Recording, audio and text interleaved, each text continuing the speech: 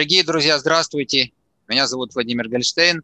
Сегодня у нас конференция, которую ждали многие, потому что мы продолжаем разговор об одной из величайших мировых религий, об исламе. Присутствует Хамид Дадаев, который задавал вопросы в прошлый раз. К сожалению, ему сейчас не удалось подключить микрофон в Zoom, поэтому нас он слышит, но мы от него не сможем э, обратную связь услышать. Однако я как раз хотел сегодня э, дать приоритет в задании, так сказать, задавании вопросов женщине-мусульманке, поэтому все равно в основном вопросы будет задавать Галина. Ну и я хочу вам представить человека, которого вы совершенно вообще никто из вас не знает.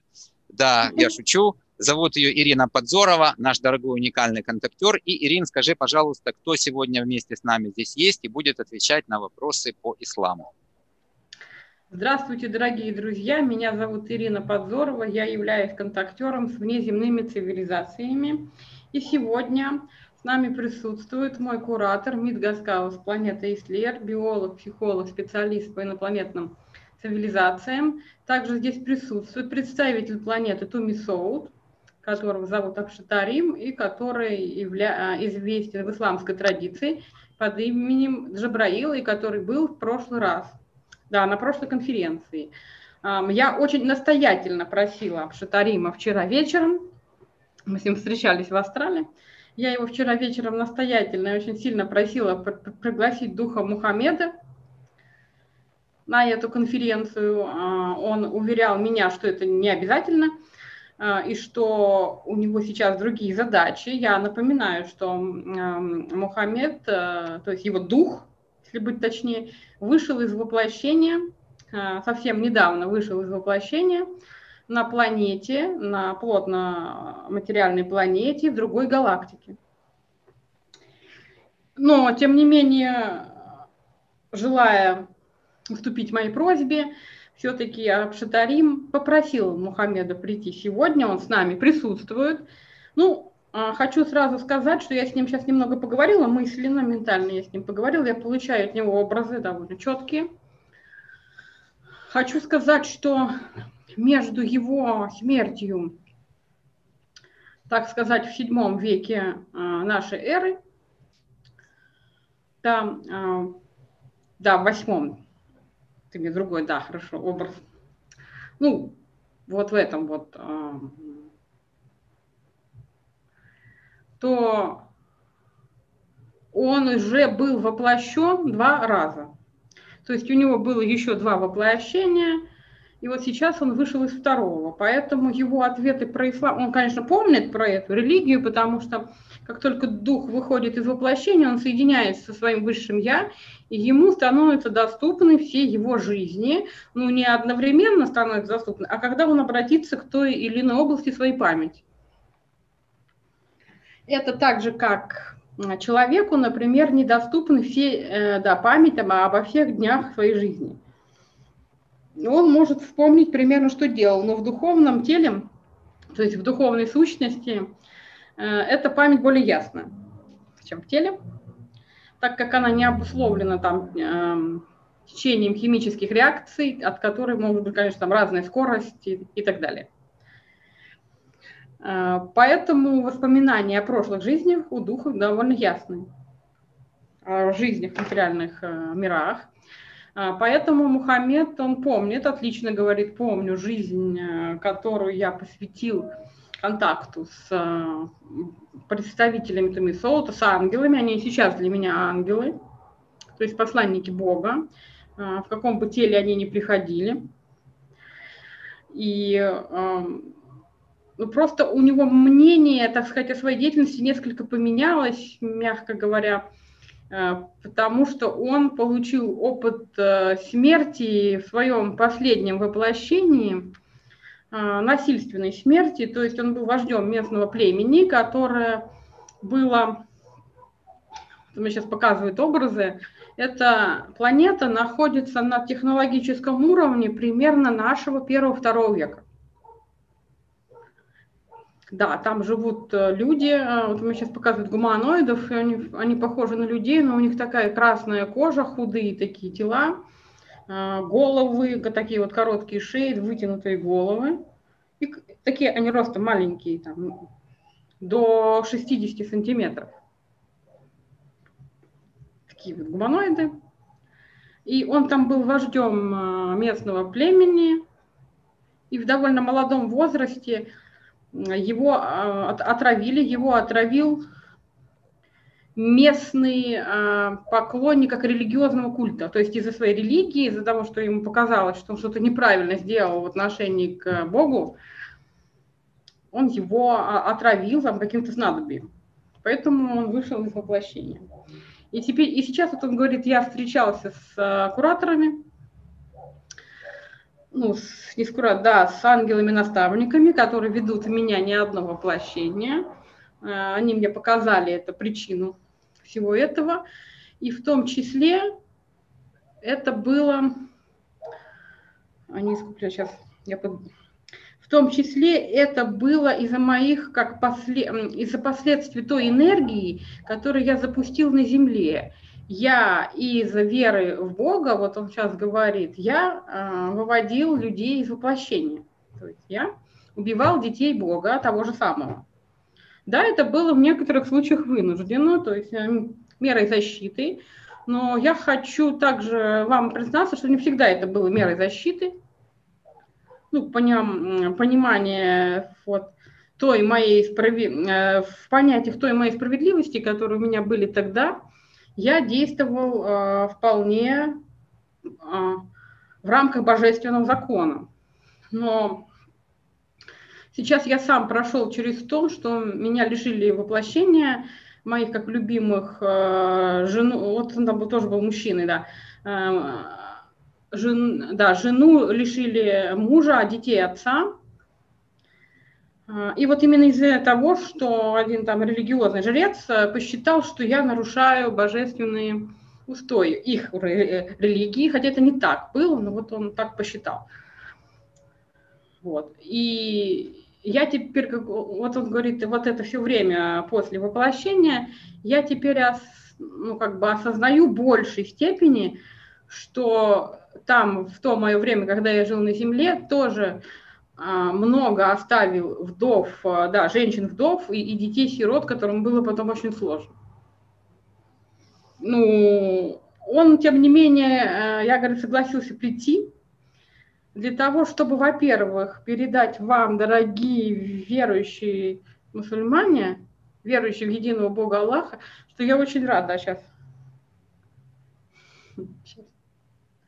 Что я очень рад, не сразу, да, что я очень рад такому развитию нашей истинной религии. Ее истина заключена в том, что она ведет людей к подлинному пониманию Бога и его действий в мире. И также она направляет энергию людей на не, на матери... ну, не только на материальное наслаждение, но и на добрые дела. И это очень ценно в глазах Аллаха, потому что сам Аллах ежесекундно делает для Вселенной добрые дела примерно, да. Не прекращает делать, да, ни на секунду, я поняла. Я очень рад, что, на, что наша уже с вами, не моя, а, а наша с вами религия получила такое развитие на Земле. И также хотела обратиться к представителям не только мусульман, но и любой деноминации, и вообще к люб, да, любой конфессии, деноминации. А, и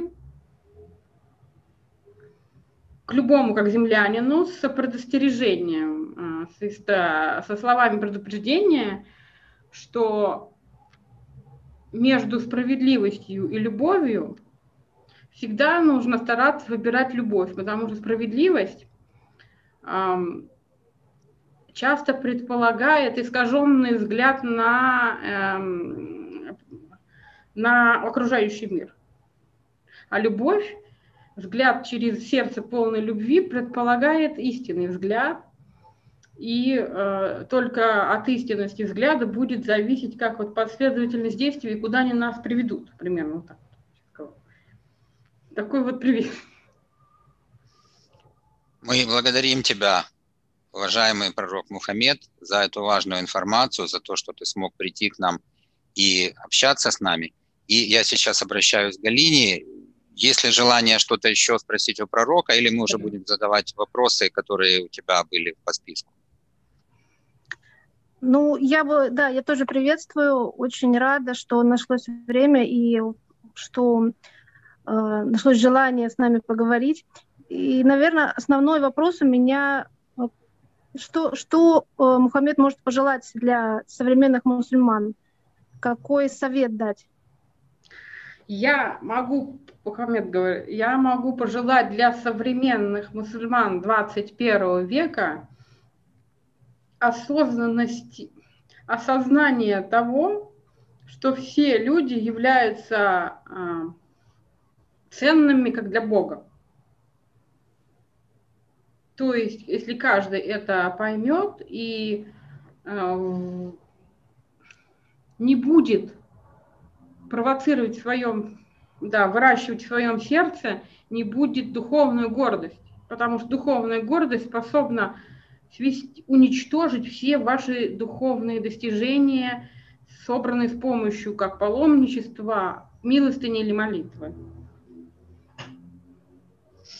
А, спасибо. А, благодарю. Еще один вопрос можно? А, на данный момент, на, на данный момент получается, кто тогда управляет исламским эгрегором? На данный момент управляет исламским эгрегором а, ну, в основном управляет Апшитарим, но ему помогает несколько духов. Он меня называет, там он сейчас показывает ряд, а, вот он сейчас показывает четверых еще. Но я, я тоже считаюсь управителем. А, но сейчас я как временно отошел пока вот. Мне нужно гармонизироваться, восстановиться. И сейчас вместо меня управляет Исмаил, Исмаил, Исмаил, Исмаил. Я не знаю, кто это. Вот, это вот он мне показывает парня с такими, как черными усами, и вот он жил а, каким-то таким, ну, то, довольно молодой. А, он был а, каким-то вот ученым на Земле, который изучал примерно 13 век. Да, вот сейчас Абшитарин говорит, показал мне эту цифру. А, и еще четверо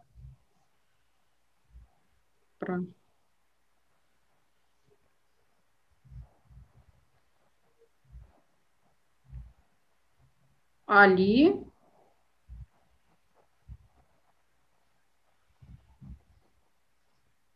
Ибрагим и э, Абшатарим и еще один Бурхат. Бурхада – это инопланетянин.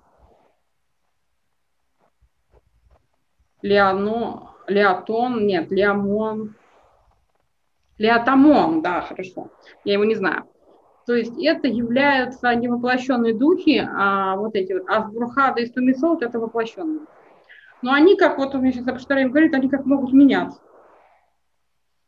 То есть одни могут приходить, другие уходить на воплощение или в другие эгрегоры. То есть он такой, как непостоянный. А. Вообще редко существует эгрегор с постоянными управителями и хранителями. Обычно они меняются в зависимости от цели. Вот он сейчас так сказал. Понятно, благодарю. А на каком сейчас уровне духовном находится Мухаммад?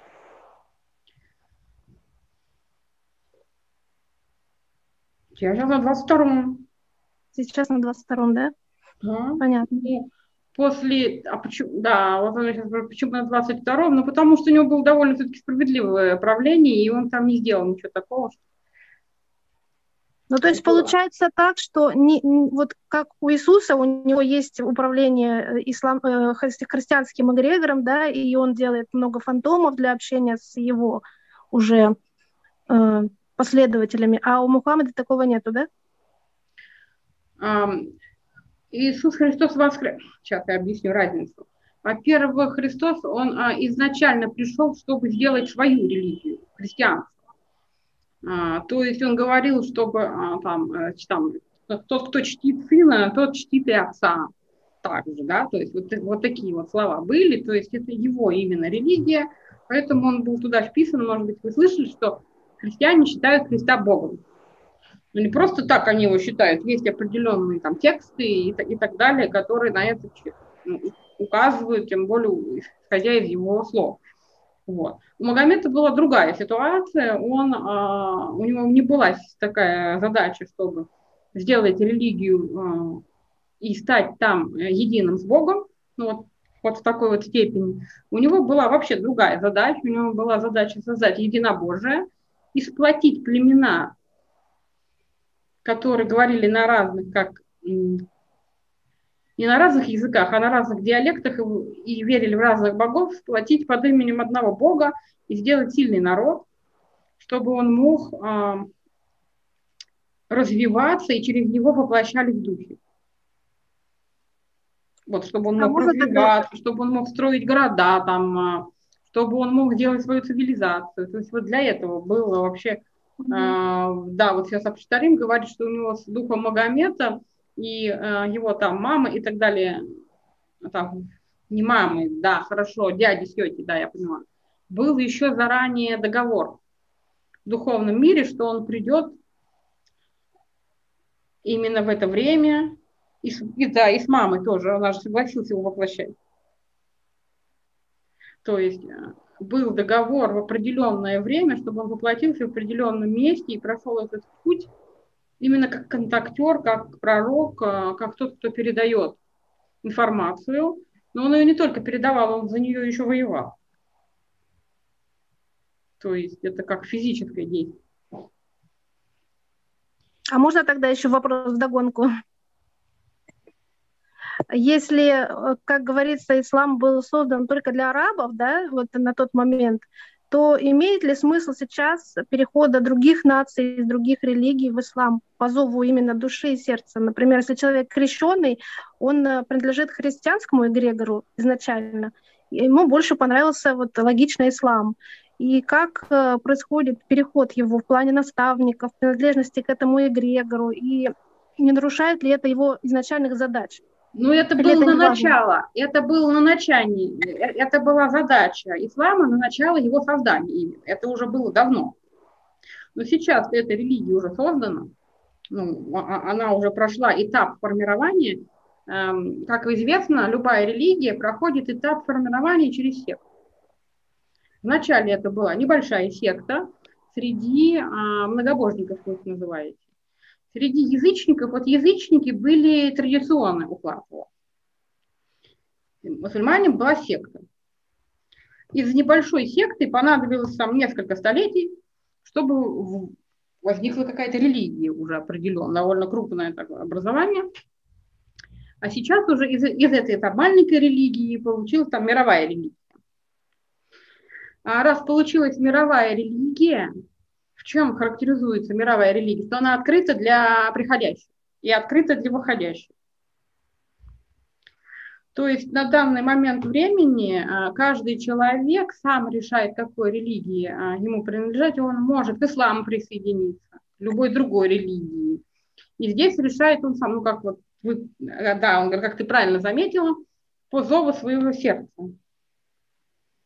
Если он сам так решит, не под давлением своих родственников, например, и не для того, чтобы покрасоваться там перед другими, или не для того, чтобы быть, э, например, э, выполнить желание э, там, своего мужа или жены, а именно по зову своего сердца, только искреннее обращение, оно не то, что ценится, оно полностью включает в эгрегор.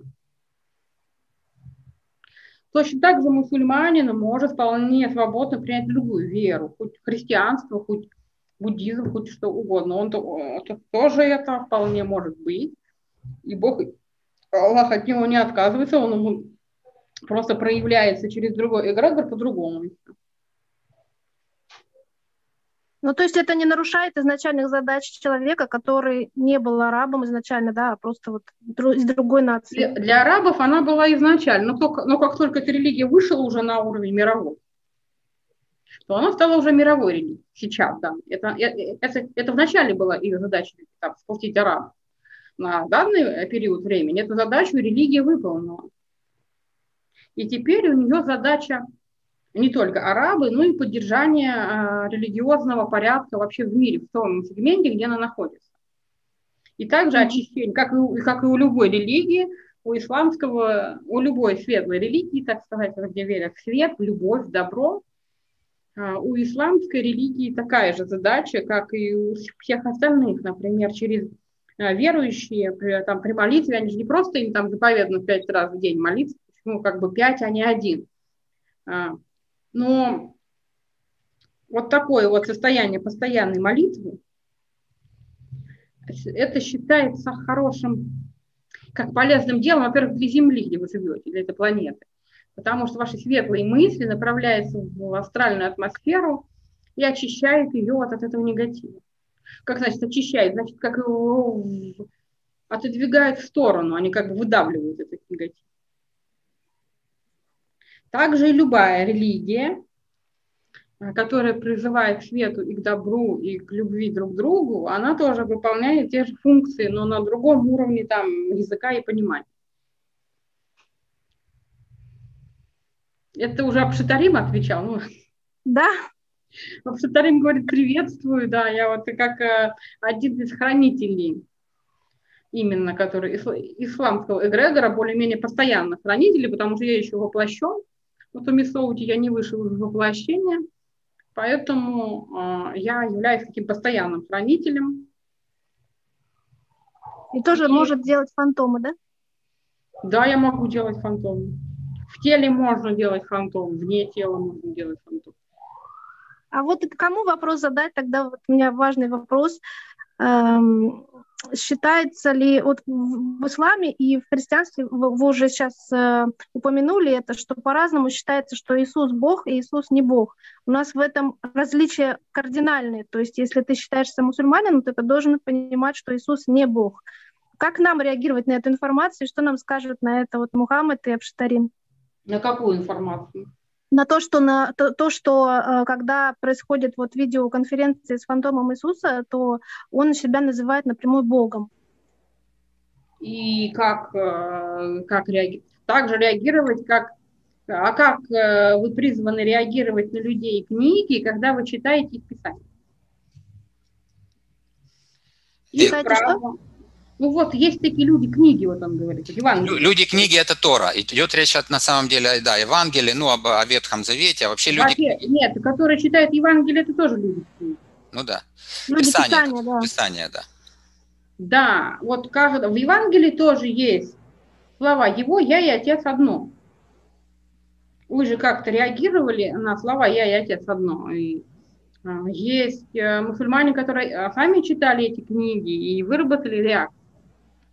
А, самая а, гармоничная реакция будет, это понимание того а, факта, что дух, ну как сотворен, дух, рожденный Богом, все-таки, почему именно рожденный, потому что он такой же бессмертный, во-первых, как Бог. То есть он уже от него рожден. Раз он от него рожден, он по природе божественный. Почему? Потому что и он, и он может называться Богом, но не в том смысле, как вот Аллах, большой Бог, а в том смысле, как божественной природы. Но а, в отличие от Бога Аллаха, он еще, можно сказать, развивается. Ну, это очень похоже на отношения детей и родителей. Опять же, да, вот вы знаете, что христиане называют Отец Небесный, и мало того, у них есть молитва «Отче наш», который передал им сам Христос, они отец его называют, именно Бога, Аллаха по-вашему. Если отец, значит, он родил. Ну, вот, например, вы по природе, вот, например, ты по природе женщина, ты по природе человек. Твои дети являются тоже людьми, они не являются животными. По той же самой аналогии дети Бога являются богами, но не а, животными. То есть в человеке есть божественная природа, а есть а, то есть духовная природа, божественная природа, а есть природа телесная, животное. Вот как раз животные сотворены плазмоидными цивилизациями, в них вложена душа тоже плазмоидными цивилизациями. А человек особое э, существо на Земле, по крайней мере, в Вселенной. Вот. И именно так и стоит понимать, что когда человек своей душой сливается с Богом, он расширяется за пределы Вселенной, он так и говорит, я и Отец одно. На самом деле это ощущали многие из мусульман тоже. Я знаю таких людей, вот он мне сейчас говорит, которые это чувствовали и среди мусульман, когда они приходили в состояние полного как очищения. Спасибо. А Мухаммад так не, не ощущал себя, не говорил так? Он говорит, вначале а, ощущал, когда был еще молод, а потом, когда у него началась эта борьба, и вот этот гнев у него тоже начался, ему уже было а, очень трудно выйти высокие в эти состояния. Потому что все-таки борьба, война, постоянные вот эти вот нападения, словесные и физические, отнимают много энергии и понижают вибрации. Скажите, пожалуйста, вот у меня вопрос в контексте этого. Это вопрос от мусульманина, другого от нам прислали вопросы. В Коране сказано насчет распятия Христа, ну, понятно, мы говорим о пророке Иса с точки ну, в терминологии, да, Корана. Значит, там сказано, но они его не убили, и они его не распяли. Но, однако, это лишь им показалось. Прокомментируйте, пожалуйста, вот почему именно такая информация передавалась через Мухаммеда. Мы-то знаем, что все было на самом да, деле. Да, он сейчас может сам прокомментировать, что он писал. Это перевод, какой-то перевод говорит. Как бы там была другая несколько конструкция. Я, вот сейчас Абшатарим говорит, я не зря советовал ведущим исламским ученым э, считать Кораном только арабский вариант. Я предлагал даже не считать Кораном перевод на другие языки он может очень сильно отличаться оригинала, но еще раз, пожалуйста, прочитайте, чтобы было понятно, прокомментировать. Еще раз прочту сейчас тот, который есть у меня вариант, ну, естественно, он на русском языке. Значит, здесь звучит так. Вот то, что мне прислал мусульманин, задающий этот вопрос. Но они его не убили, и они его не распяли. Но однако это лишь им показалось.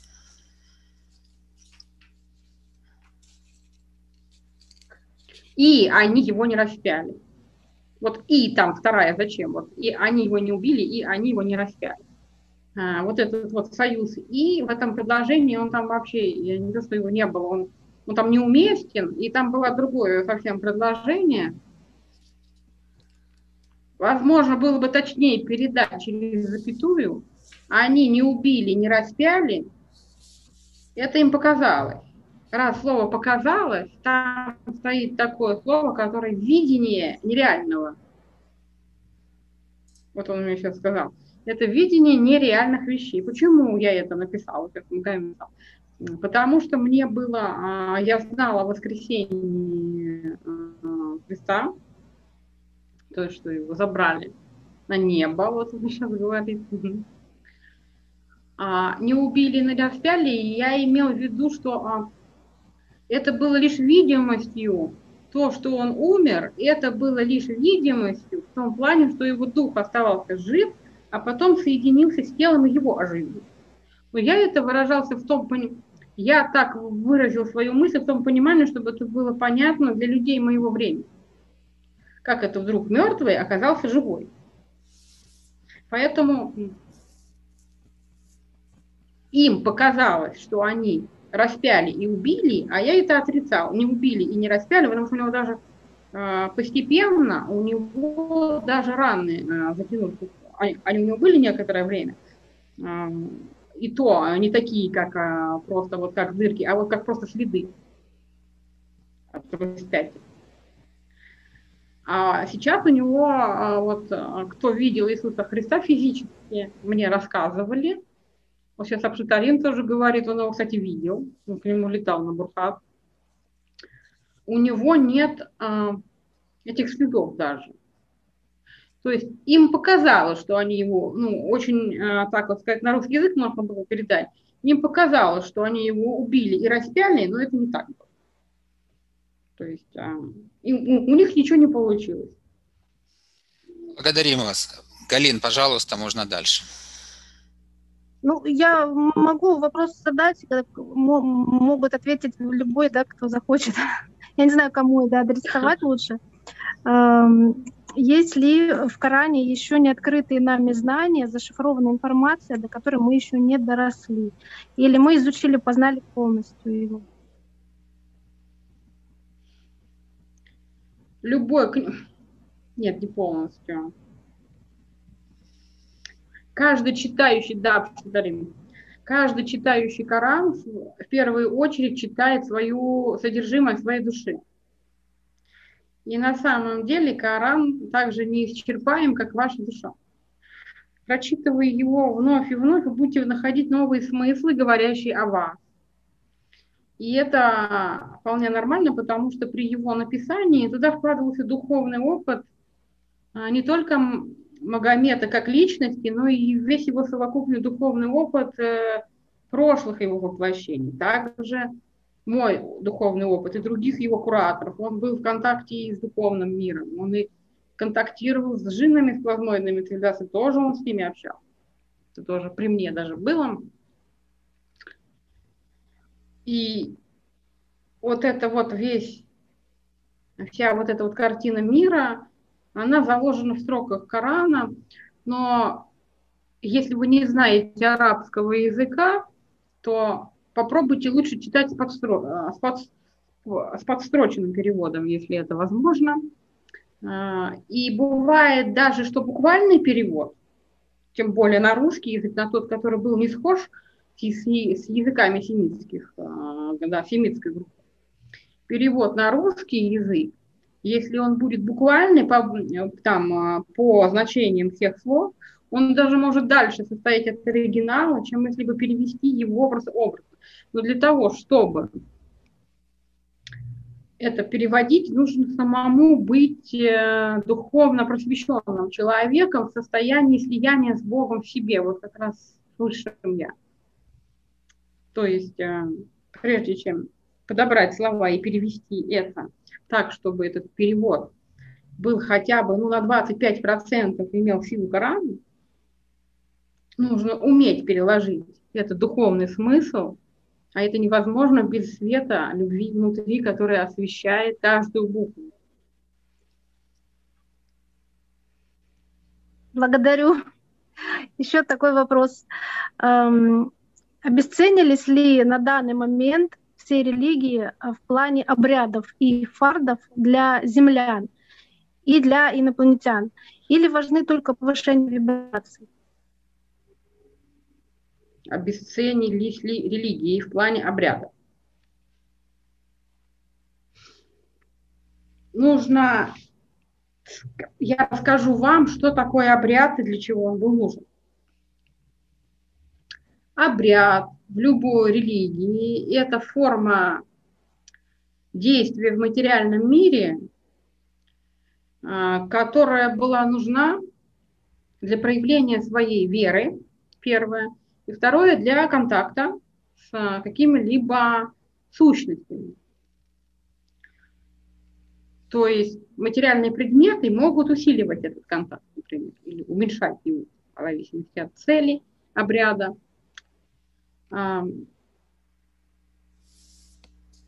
обряд может быть сложным, а может быть простым, но его суть это всегда поклонение Богу или другие духовные чувства через материю, через предметы, там, через благовоние, через музыку и так далее. Через изображения некоторые так а, делают тоже обряд с различными изображениями в некоторых религиях это, это принято ценно, насколько это обесценено. Я не могу сказать обесценено совсем, так как для духов, находящихся на определенной стадии развития и осознанности, этот обряд необходим. То есть, как мы помним, а, каждой религии духи притягиваются по частоте своих вибраций, которая зависит и от миропонимания в том числе. Для некоторых обряд необходим. Религии, лишенные обрядов, будет для них пустой и ничего не значащей философией. Для, ну то есть, которую не нужно выполнять в жизни, пустой значит бессмысленный. Для некоторых других людей, сейчас прошу,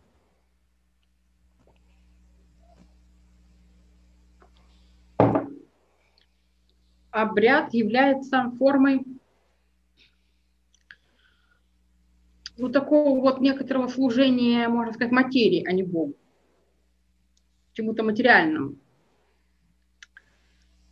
То и другое мнение, если оно категорично, оно неверно.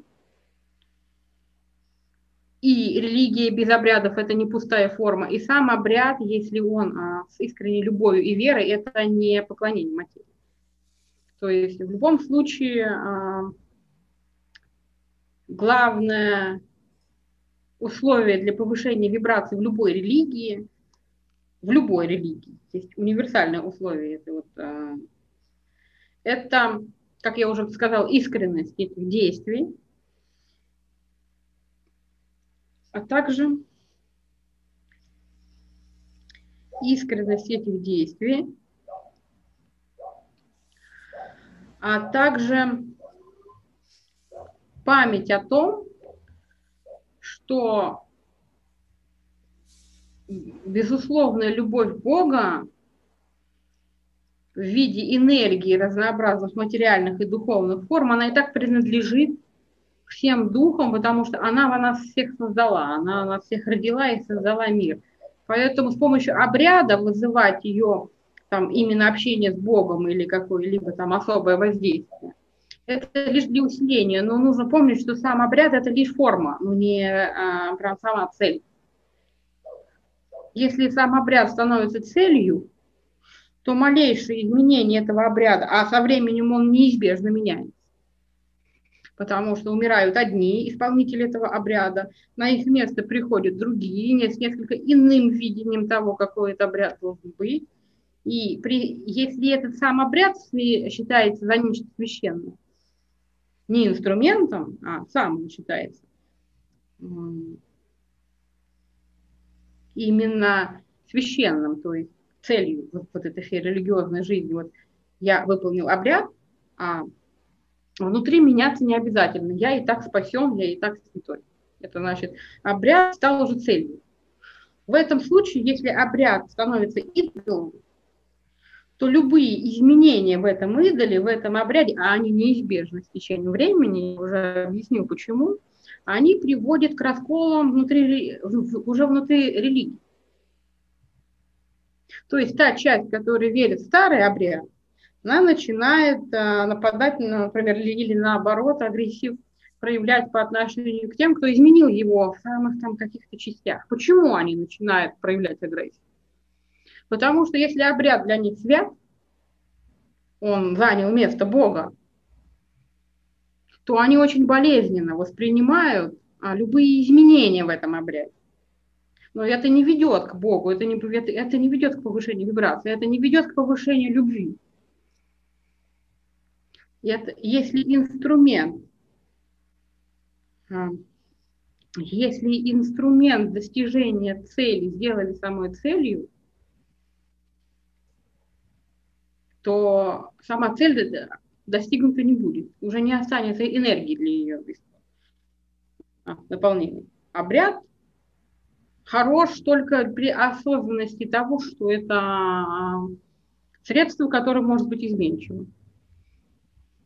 То есть он а, священный, но он не святой такой, как Бог. Он, он, он наделен божественной энергией, но а, не настолько, чтобы нельзя было его изменить по каким-либо причинам.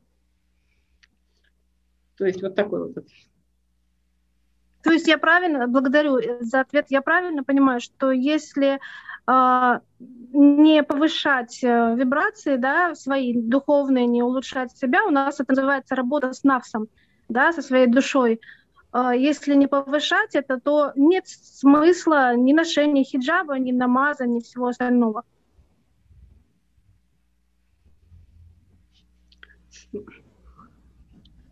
Ну, смысла именно религиозного, конечно, нет. Может быть, есть смысл какой-либо культурологи, э, культурологический или эстетический, может быть, просто кому-то нравится эта одежда.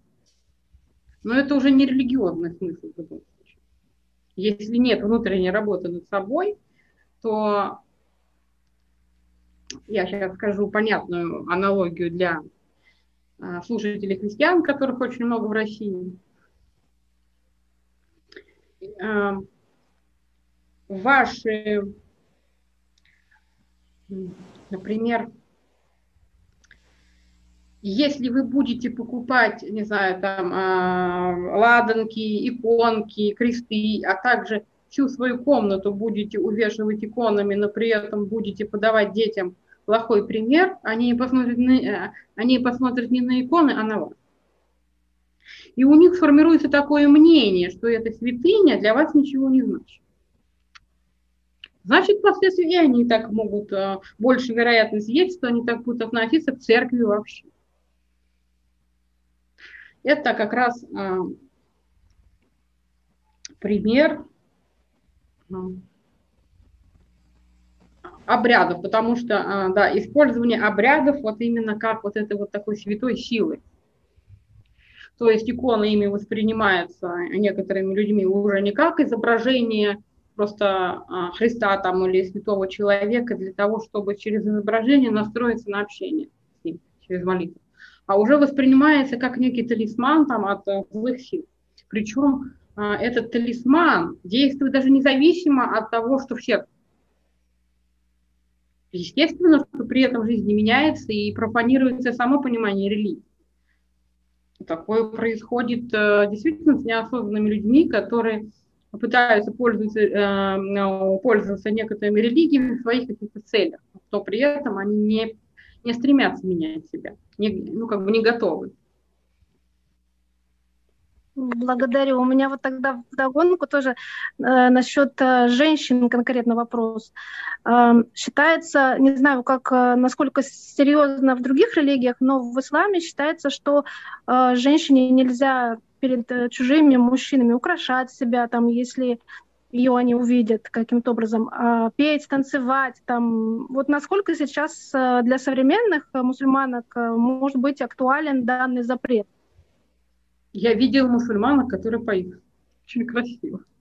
Это понятно, но запрет, запретно ли это для нас с точки зрения Аллаха, э, шариата?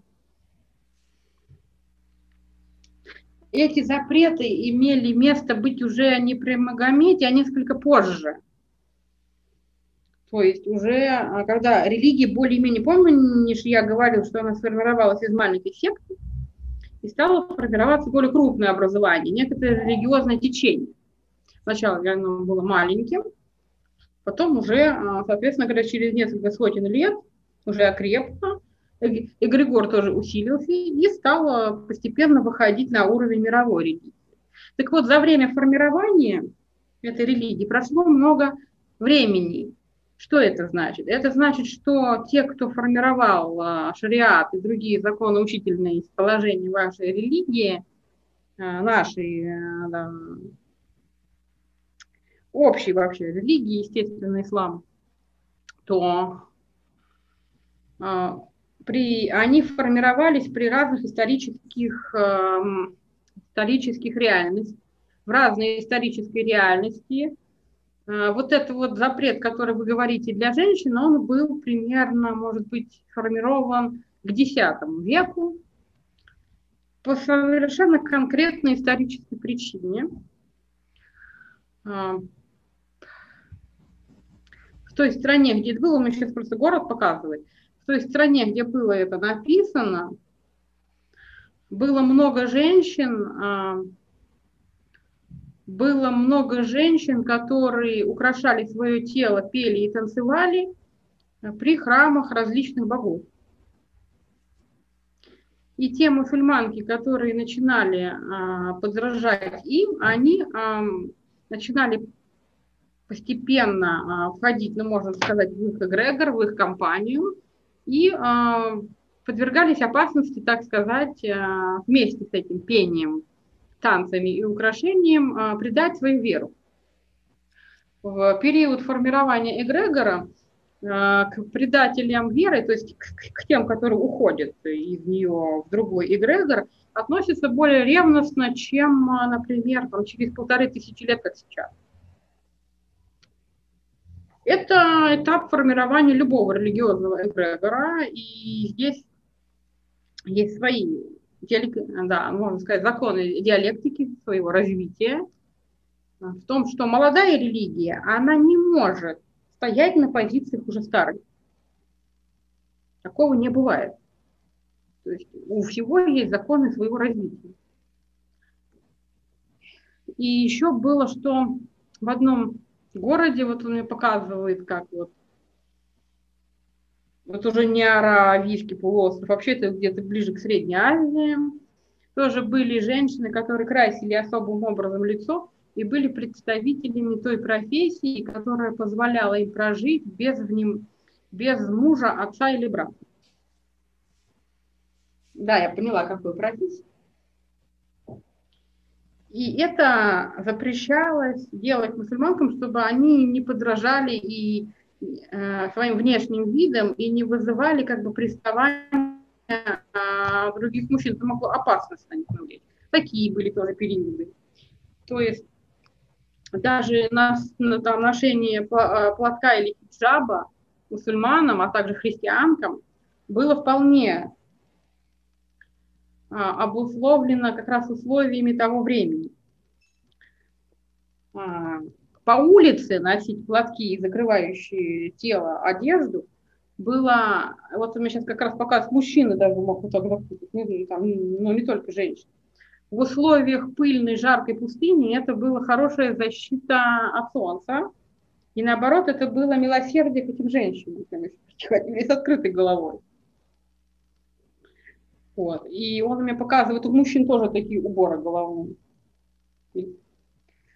Что касается христиан, что они должны были, мужчины, э, снимать в храме головной убор, а женщины, наоборот, одевать, это было как раз этикет того времени, не только в храмах э, так были должны делать, но и во всех, например, домах при приемах там, там важных гостей каких-либо там, и, можно так сказать, э, встречах с властными структурами. То есть, но было принят такой этикет, что а, у женщины должны были волосы прикрыты в присутствии важной особы. Считалось, что а, взгляд на волосы женщины, он, а, ну, как можно сказать, отбирает ее силу.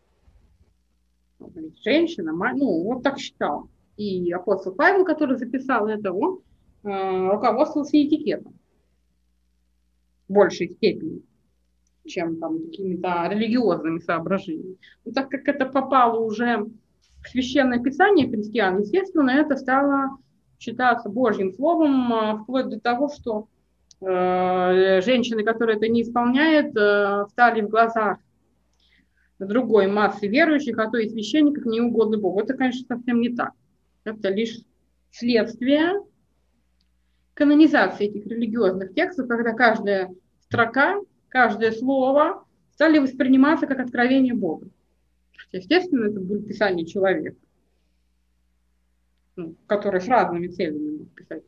И э, здесь важно различать, что действительно э, важно именно для, для контакта с Богом, для религиозной жизни, и что имеет лишь историческое и культурологическое различие, что касается э, вашего, что касается своего вопроса, Галина, я не вижу препятствий сейчас в данный исторический период для того, чтобы женщинам можно было проявлять себя, как ты сказал. Естественно, с соблюдением всех норм приличия. И более того, как сказала Ирина, действительно есть женщины, мусульманки, которые а, остаются верующими, украшают себя, поют и танцуют, и у них а, даже есть певицы, которые исполняют и мусульманские песни. И это никак не порицается. То есть это уже а, выходит, в, это уже не выходит, это уже становится нормой. А, у вас, а, вот, вернее, не у вас, а у некоторой части мусульман станет вопрос, а как же установление древних? Я хочу сказать, что такой же вопрос вставал перед теми, кто оказался среди многобожников. Перед теми мусульманами, перед Магометом, перед его друзьями, даже среди родственников Магомета находились те, кто говорил, а, вот он сейчас говорит, да, я помню, мне мой родственник, мой близкий и, и друг и родственник, а как племянник или дядя, вот как он мне говорил, а как же установление наших предков?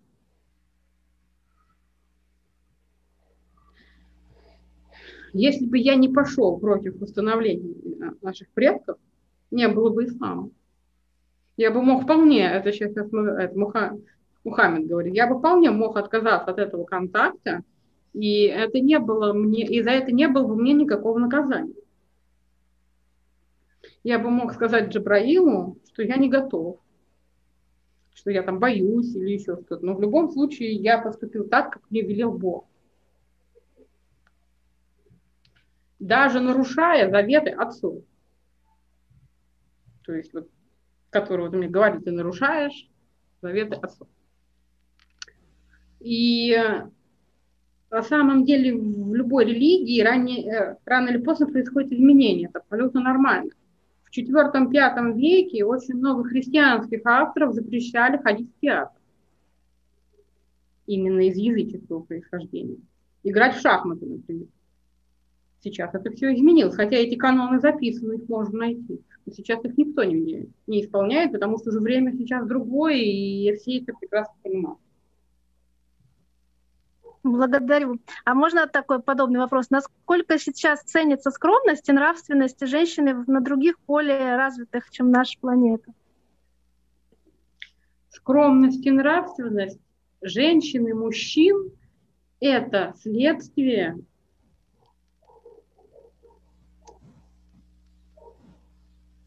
уверенность. Во-первых, истинная скромность, вот он мне говорит, истинная скромность, она невозможна без уверенности в себе. Истинная скромность. Не принижение себя, а истинная скромность, которая человек а, не имеет нужды в том, чтобы возвышаться над другим. Так может только уверенный в себе человек. А уверенный, а, а, да, а нравственность это любовь. Принятие закона, да, принятие нравственного закона, который находится в духовном сердце, своим законом. То есть это принятие законов о, ну, можно так сказать, в форме заповеди Бога. И это может сделать искренне только человек, который понимает, что Бог дал эти заповеди из-за любви. А так может понять человек, который э, сам любит Бога. Уверенным в себе и скромным, а может быть только тот, кто истинно любит себя. Поэтому тот, кто скромный и нравственный, это проявление, одно из многих проявлений. Не только эти проявления, а одно из многих проявлений любви к себе, и любви к ближним, и любви к Богу. Поэтому э, в той или иной форме понятие духовных ценностях подается детям, вот сейчас Абшатарим говорит, подается детям в Межзвездном Союзе еще в школе.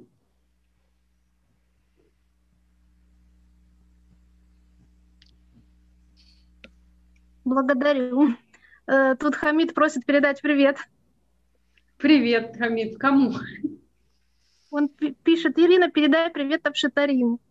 Абшитарим, тебе привет от Хамида. Спасибо.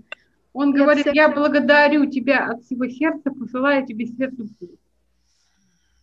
Ну, мы Хамиду, говорить... Хамиду еще обязательно дадим возможность. У нас не последняя конференция по исламу, я в этом абсолютно уверен. Это тема абсолютно глобальная. Да, я уже вижу, что Абшитариму есть о чем поговорить. Да, мы еще все сделаем, и еще будет участвовать обязательно, все отладим. И голосом я обещаю, Хамид, будете участвовать, все у нас еще впереди. Просто, наверное, это не случайная такая тоже ситуация. Наверное, сегодня нужно было дать высказаться женщине мусульманке.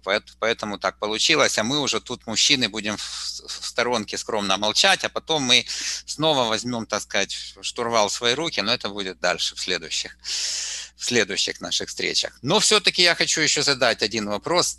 Э, значит, от лица вот мусульмане-мужчины тоже у меня спрашивали здесь. Он такой, вот нам прислал человек, правда ли, что шахиды, люди, умершие на пути Аллаха, защищая Родину или умершие за истину, попадают в рай? Да, вот сейчас и Магомед может ответить, и, соответственно, он сам прошел этот путь. Я могу сказать, на какой уровень я прошел, когда умер. Ну, я умер не в битве, я не в битве умер, я умер а, в доме.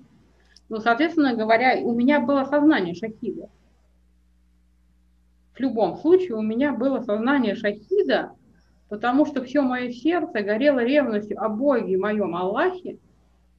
я был очень возмущен а, той грязью, на Бога, который я слышал вокруг.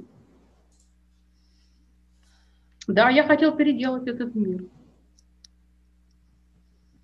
Так вот, после, а, ну, я был воином, я был шахидом, и я умер уже пожилым человеком, вот он мне не совсем старым показывает, ну, примерно, может, лет 55, 60, может быть, ну, я не вижу там особо седых волос, таким пожилым человеком, он говорит, ну, да, вот у меня э, там было, это уже сейчас два вопроса, так, ладно, лет 60. Я прекрасно помню уровень, на который я пришел, и этот уровень был 12. Учитывая все, что я делал, это еще совсем не так плохо. Я хочу сказать, что я воплотился в 19 уровне, когда я в Магомед воплотился. И благодарю а, моих наставников и кураторов, и лично Абшатарима, он как говорит, которые смогли мне до моей смерти все же вложить понимание, что а, нужно развивать любовь. Я простил многих своих врагов на самом деле. Я послала им свет своей любви. Я даже пожалел о многих а, убийствах, например, когда я лично отрубал голову там некоторым э,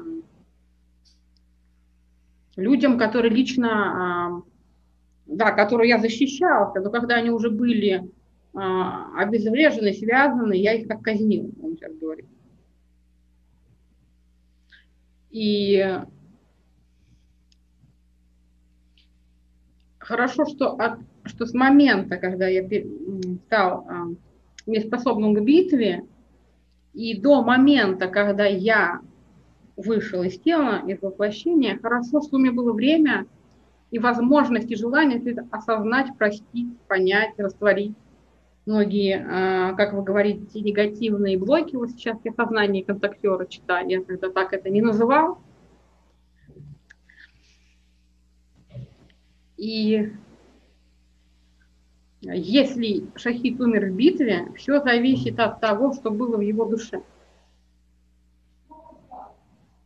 Если в его душе было желание защитить, как вы сказали, как вы сказали, если в его желании не было ненависти к тем, от кого он защищает, а было желание а, защитить а, слабых, защитить там свою родину, детей и мать, и в то же время было понимание, что эти враги напали по каким-то там своим причинам, и необходимо идти, то есть вот э, убивать их э, совершенно не хочется, но выхода нет. Это примерно, вот сейчас Абшитарим подсказывает, примерно состояние Арджуны на поле битвы. То есть, Владимир, понимаешь? Я все прекрасно понимаю, да, я Гиту То хорошо когда знаю. я готов сложить оружие, уйти из поля боя. Но мне говорит Бог, что если ты уйдешь, будет еще хуже. И тогда вынужденная вот эта вот мера, она оправдывает действительно уже и выход из воплощения без ненависти, без злости, вот именно, вот именно как вот необходимо. В этом случае воин уходит на довольно высокий уровень, особенно если его самого убили в бою, то есть это говорит о том, что если его убили в этом, если он пожертвовал своей жизнью, а не сбежал, например, туда, бывает такое, что он сбежал, э, сам убивал, а когда опасный момент он там сбежал или еще что-то, то здесь уже у него включается страх. А если он это делал до конца и э, вот в этом вот погибает, вот в этом вот моменте битвы за не просто за справедливость, а именно вот за защиту, тогда он довольно высоко может попасть в ангельские миры, в рай, как вы говорите.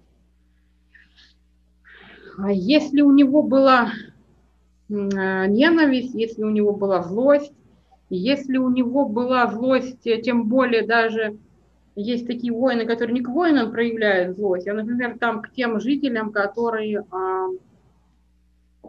можно так сказать, это вы сейчас называете, к жителям того народа, который непосредственно не воюет. То есть такое бывает, что любой представитель народа которым человек воюет, вызывает уже ненависть, желание уничтожить, потому что приходит понимание, что если сейчас эту женщину не убью, она через 5 лет может родить э, ребенка, который через 20 лет станет новым воином. Это понимание приходит в, в момент войны. И этот воин может э, убить э, как партизан с десяток там уже из нашего народа. Тем более, когда это и есть не захватническая война. И довольно быстро приходит понимание, что если ты не убьешь пятилетнего ребенка, мальчика тем более, через 10 лет это уже полноценный партизан, который может тебе нож воткнуть в спину. Он будет ненавидеть захватчика. И это все очень хорошо понимаешь, когда ты проходишь через это. Вот если эти действия были совершены, тогда да, действительно можно очень на низкий уровень уйти, на демонический. То есть на демонический не из-за самих убийств, убийство это след, а вот именно вот из-за того, из-за тех эмоций и чувств, которые привели к этим убийствам. И не были растворены э, любовью, прощением, добрыми делами. Вот человек погиб в бою с ними, ничего не успел сделать. Дух его может попасть на демонический уровень. Я понял, благодарю тебя. И у меня еще быстрый вопрос один, э, тоже от человека, от мусульманина. Все суры начинаются «Бисмилляхи Рахмани Рахим» во имя Аллаха, милостивого, милосердного, кроме девятой, покаяние. Почему именно так?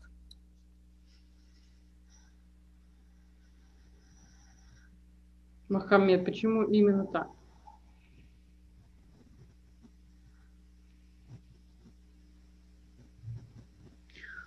Ну, он говорит, нет в этом какого-то особого смысла, просто э, он, когда начал писать, э, во-первых, эти, да, он не так, хорошо, сейчас, он не так записал Коран, чтобы были вот такие современные суры. Там вот другими, может быть, частями, отрывками было записан. А уже как их разделили и э, написали, это уже было позднее. Иногда я записывал просто, как он сейчас говорит, просто мысли – и вот говорится, некоторые говорят, я не умел писать. Нет, он на самом деле умел писать. У него, эм, ну, он там с детства не учился, но у него были э, не родственники, как вот учителя, сейчас я скажу, как вот не, да, не родственники и не учителя, а вот как его знакомые, такие хорошие, как друзья, которые были старше его, которые грамотные были. И они его научили писать. Они были как в богатой семье. И они, пожалев его, а, то, что он сирота, они его научили писать. Он ведь а, рано потерял очень маму, а отца вообще никогда не видел. Да, в 7 лет он там а, последний раз видел маму, и она на его руках практически умерла от тяжелой болезни. Если быть конкретнее, от малярии, от одной из форм. Ну, то есть э, сгорела от э, температуры. Шок у нее был, она там э, бредила тоже, видела, ну как бредила, по-вашему, как видела ангела. И он это все видел именно вот в семилетнем возрасте, он мне показывает ребенку, у которого волосы вот так вот волнистые, а, ниже ушей, вот так вот на плечи, вот такие черные. спускаются, и он ее поддерживает на какие подробности. Ну, у них, ну, не очень хорошо ей, короче, а он ей помогает и сам плачет, но в то же время ухаживает за ней. Вот. Поэтому вот этот ребенок, который столько пережил, он а,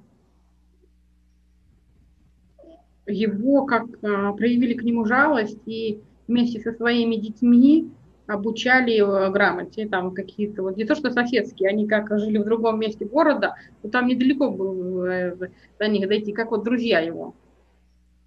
Друзья его семьи, да. Но смысла особого, значит, нет, да, вот именно в том, что в девятой суре нет вот этого вступления. То есть это, ну, по сути, мы говорим тогда о случайности какой-то. Ну, случайного ничего не бывает, просто вот сейчас Абшитарим говорит, раз нет там этой суры, значит, перед сурой покаяния, весь смысл э, вот этой вот, э, вот этих слов про Аллаха и пророка его, он заложен в самой суре, нужно его там найти. Я все понял. Спасибо большое. Галин, пожалуйста, можно еще задавать. Мы сейчас, конечно, уже время, но давайте. Можно еще, да? Пожалуйста. У меня еще два основных таких вопроса для меня важных. Э, первый вопрос. Э, как э, сейчас, на данный момент, зная информацию, данную нам от инопланетян, да, и вообще через Ирину очень много новой информации, как нам на данный момент обучать детей, что такое, к примеру, там ад и рай? как доносить? Детей именно.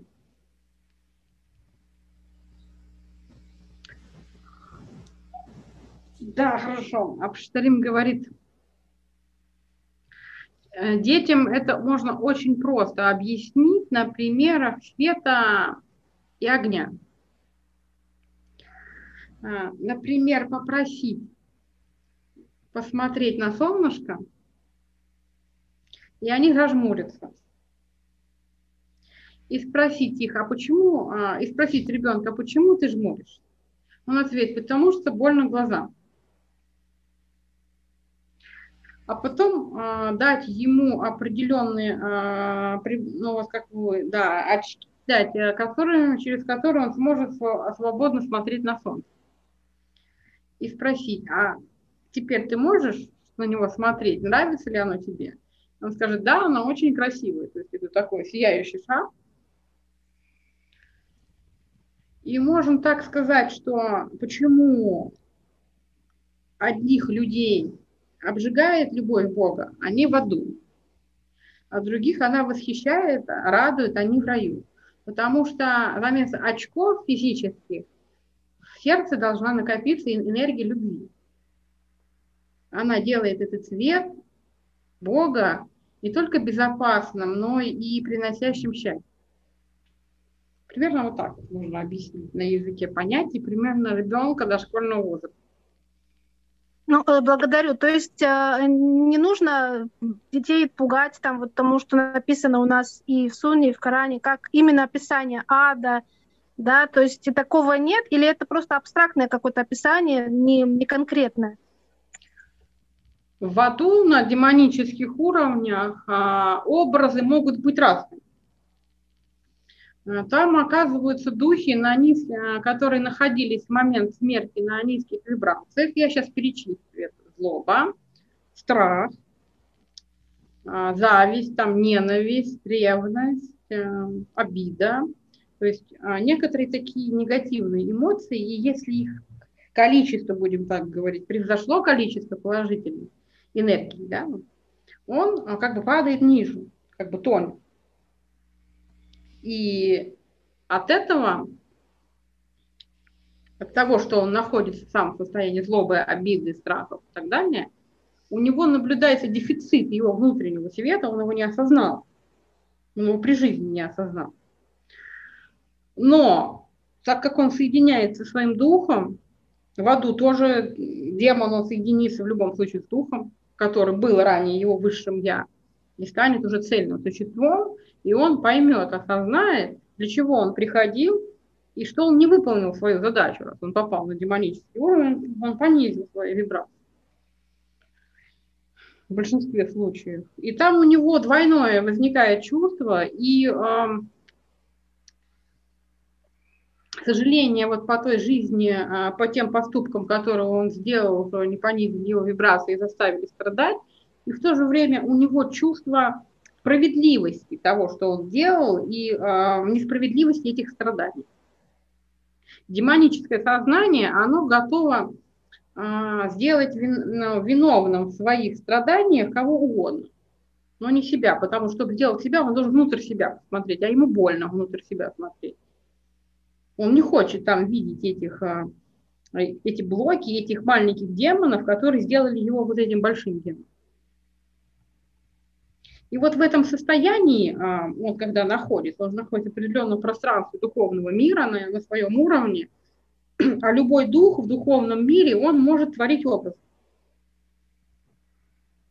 Если он а, будет чувствовать, это сейчас смотря какой уровень, если это совсем низкий, там первый, второй, он будет действительно чувствовать, ну, жжением это можно довольно приблизительно назвать, это скорее внутреннее жжение, нетерпеливость, такое жжение – такое ощущение, что ты не можешь продолжать существование, но, но ты не можешь его и прекратить. И в этом случае какие будут образы? Те, которые были близки ему при жизни. То есть он там а, может, например, подумать, что он находится в каком-то там помещении, да, он может придумать, что там огонь горит, там, или еще что-либо, или там огненная река течет. Он может придумать наоборот, что он, ну, как подумать, придумать, создать образ, что он там, наоборот, на каком-то там холоде находится, что он там один в а, ледяной пустыне. Он это и увидит, эти образы он и, и увидит. И он увидит образы других, которые находятся на этом же уровне. То есть они как будут для него, вот эти образы, они будут для них миром их. Будут они в них верить абсолютно, будут они их усиливать и так далее. И это все будет происходить до тех пор, пока он в себе не решит, что нет, я больше так не могу, я хочу идти на следующее воплощение. Но есть демоны, которые а, понимают, что ангелы-консультанты им сейчас придумают, им сейчас подберут воплощение, которое их не устроит, чтобы это все негатив почистить их. И понимая это, но желая все-таки войти в тело, чтобы получать там какие-то наслаждения, к которым они привыкли, они э, выходят в астрал, они имеют доступ к астралу, естественно, и уже через астрал в материальном мире ищут воплощенного духа, который по вибрациям совпадет с ним, со слабой волей, которого они могут подавить эту волю и войти в его, через его тело чувствовать э, наслаждение э, этого тела. То есть такое возможно. Это, конечно, а, допускается самим человеком по его там мыслям, вибрациям, чувствам. Но если такое произошло, такой подобный контакт в форме одержимости, он ограничивает развитие воплощенного духа. И он не дает невоплощенному духу воплотиться и пройти свой опыт, он и его развитие ограничивает. То есть там уже плохо всем. На самом деле. Благодарю. Получается, для каждого и свой а, ад, и свой рай. Получается так, да? Ну, в чем-то свой, а в чем-то общий, потому что они все равно видят э, друг друга и, и образы друг друга, которые на одном уровне. Благодарю. Можно последний вопрос у меня сейчас на данный момент важный тоже для тех, э, с кем я общаюсь. А, важно знать, что именно может вывести человека из ислама? Из эгрегора? Ну да, и из эгрегора, и, из, и вообще веры. Веры в кого? Бога. Вообще из веры в Бога? Из веры в Бога в, в эгрегоре, в этом эгрегоре. Ну, естественно, неверие в идеи этого эгрегора. То есть эгрегор а, образован определенными идеями, чувствами и мыслями на эту тему. Если человек уже начинает верить во что-то другое и перестает верить в а, идеи ислама, то, естественно, он на сколько-то там процентов, насколько он там поверил, он уже выходит. Бывают случаи, люди с очень таким гибким, широким мышлением могут в эгрегорах фразы сразу находиться одновременно. Но для этого, то есть они могут признавать и ислам, и буддизм, и христианство, и быть искренним последователем вообще всех эгрегоров. Такое бывает. И ни из одного из них не выходить. Ты скажешь, как это возможно? Это возможно благодаря тому, что они в любой религии, в любой книге, в любой проповеди видят как раз э, одни, одни и те же идеи, просто выражены разным языком. И для них за всеми религиями стоит один и тот же Бог. Получается ли тогда вывод, что сами религии совершенно не нужны, а главное быть человеком высоковибрационным? А это не нужны для кого? Опять это, на, это зависит от уровня осознанности, от уровня а, духовного развития и от задач воплощения. Для кого-то не нужны религии, для кого-то вообще другой путь. Для кого-то они необходимы. Это, мерить всех по одному шаблону, как привыкли земляне, здесь не получится. Здесь все люди разнообразны. Протяни руку, посмотри, тебе даже как неодно, да, я помню, как неоднократно говорил Мирахкаунт, э, мой хороший друг, который Архангел Гавриил, кстати, он тоже говорил, что если протянуть руку, все пальцы разные. И я очень люблю этот пример. А вы хотите, чтобы люди были одинаковые. Раз верили в религию, то все. Раз она не нужна одному или десяти, значит, она всем не нужна. Нет, так не бывает. Здесь подход должен быть еще тоньше, чем к пальцам, потому что а, все-таки люди – это разумные духи, воплощенные в материальном теле. И у каждого своя индивидуальная вселенная. Кому-то это нужно для развития, кому-то кто-то уже прошел этот этап, или наоборот не подошел к нему. Мы благодарим. Благодарим. Ну, у меня уже Я теперь... тоже благодарю. У меня уже... У меня все-таки еще был мой последний вопрос. Можно еще один? Можно. Последний вопрос такой. Но опять это не мой вопрос, а вопрос снова нашего, так сказать, человека, который передал вопросы, мусульманина. Ну, он, наверное, сегодня, да, уже будет у нас завершающим. Все-таки вот вопрос такой. Что неправильно делают мусульмане, в чем они неправы? Какие мусульмане? Очень общий вопрос. Да, очень общий. Ну пусть ответят наши уважаемые гости так, как считают нужным. Абшатарим, в чем неправы мусульмане? Я не могу говорить о неправоте какой-то религии. Всегда вопрос э, правоты или неправоты рассматривается с точки зрения любви на весах Бога, который взвешивает сердца, на одной чашке весов, я скажу очень, ну, очень образным и понятным для вас языком, стоит Бог. Он и отец, и мать одновременно. И в нем, у него есть весы. На одной чашке весов лежит э, перо из крыла ангела любви. Есть такой ангел любви, который дает жизнь всему и на другую чашку, и на другую чашу весов кладу сердце. Если они будут весить одинаково, значит, этот человек пойдет в рай. Он будет наслаждаться. И он будет наслаждаться своей любовью, и уже не только своей, но и любовью а, того Бога, которому он служил бескорыстно своей любовью при жизни тот человек, который творит добро, он прежде всего служит Богу. И же согласишься, Владимир, с тем, что добро – это всегда самопожертвование. Да, конечно, в какой-то степени это обязательно самопожертвование. Это, э, во всяком случае, это принесение своего эгоизма в жертву. Вот что это.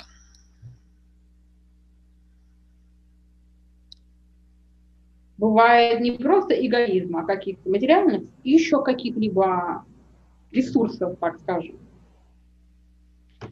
И это тоже жертва. Например, даже ты, Владимир, вместо того, чтобы потратить время на свое развитие и на, и на любовь, например, к своей жене, своим родственникам, ты это время тратишь просто на развитие проекта Межзвездного Союза. на Ирину, на Кассиопию. И твой вклад на самом деле оценит только Бог. И ты, э, тебе для этого нужно было самопожертвование. Ты ведь вкладывала материальные ресурсы свои. На самом деле Бог видит каждую твою эмоцию и каждую твою слезу на подушке, которую ты даже сам не замечаешь. И это все будет потом на весах. Все в совокупности.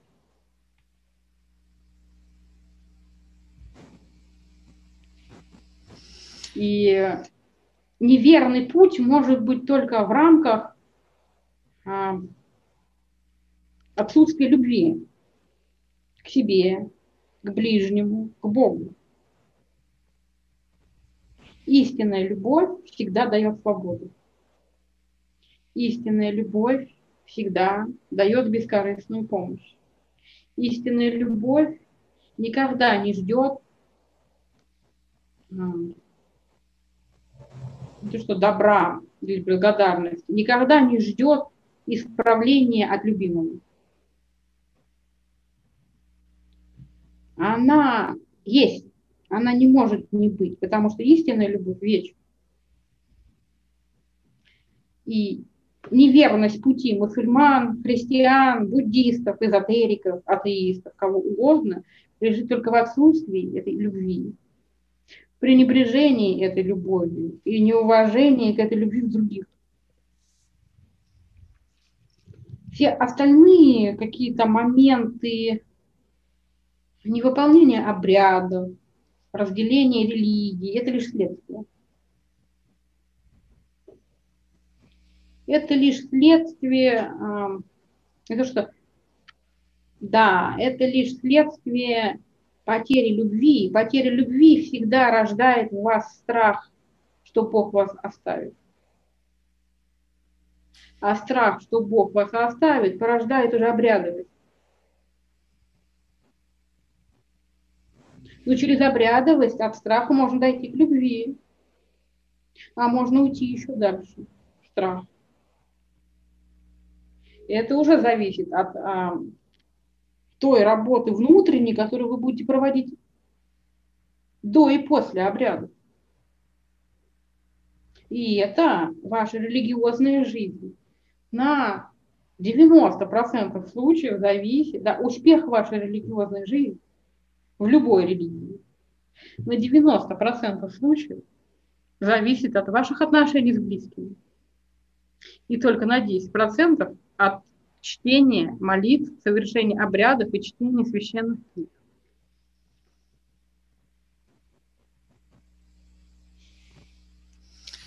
Я от всей души благодарю за этот развернутый ответ. Ну, хочу, правда, признаться, мне проще заниматься проектом Кассиопея и меньше приносить ему жертву, потому что жены у меня нет, и поэтому можно уделять больше времени. Ну, он сейчас говорит, могла бы быть. А, то есть все дело в этом. Надо все бросить, это да, я понял, идею понял.